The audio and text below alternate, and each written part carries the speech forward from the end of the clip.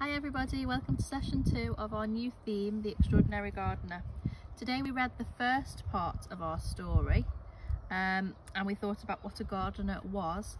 Today I'm going to read the next part of our story and find out whether Joe's plants ever decided to grow.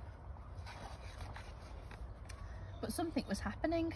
The seed began to grow and it grew and it grew and it grew.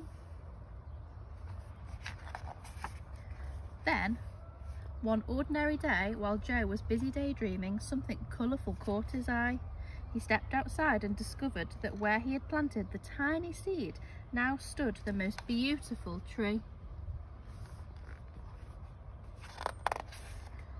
Joe got to work at once. He learned to preen and prune and dig and sow. Every day he brought home new seeds. He started to grow all sorts of things. Before long, the single tree had become a tiny garden that grew bigger and bigger.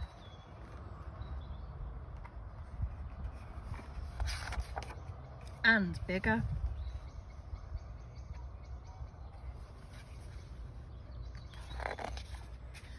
One by one, Joe's neighbours came to visit his beautiful garden. When Joe saw his new friends so happy, he had another idea.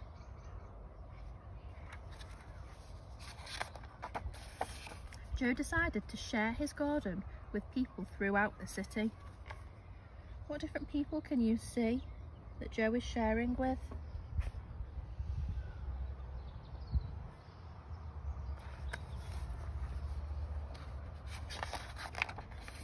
And slowly, over time, with the help of that first tiny seed, Joe's world grew from ordinary to extraordinary. What do you notice? From this page all the way back to the beginning, what has changed in Joe's world? This was the start and this is how it ended. What makes this special? Today we're going to go on a little bit of an adventure around our school or if you're learning from home you might want to go to the park or into your gardens or some kind of outdoor space near where you live and we are going to see if we can be extraordinary gardeners and see if we can make a difference to our world. So Dougie and I are going to go on a little adventure into our field behind us and we're going to see if there's any weeds or if there's any litter that we can pick up to make our world a happier, better place. Off we go on our adventure. What will we find? What are we going to do, Dougie?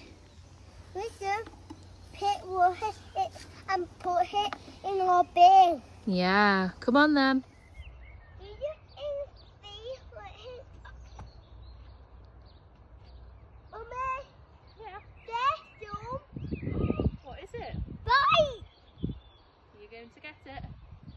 you get him.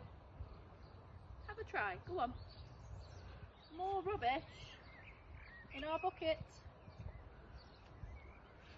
Thank you. Anything else? Careful. Good job. What have we been doing, Dougie? We've been catching some rubbish. Why have we been catching rubbish? That could a trap. They left the traps? Yeah, we have rubbish. So where are we going to put the rubbish? In a bin at our... At our house?